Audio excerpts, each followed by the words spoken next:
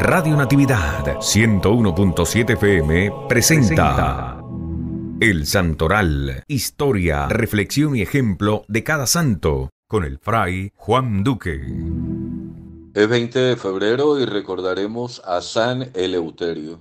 Significado del nombre Eleuterio, libre. Este obispo de la Edad Media fue taumaturgo, es decir, que en vida hizo milagros. Tuvo una gran influencia en su comunidad diocesana, gracias a su sabiduría y dedicación a la transmisión del Evangelio de Cristo. La vida de San Eleuterio ha sido presentada a muchos obispos como modelo del ejercicio episcopal.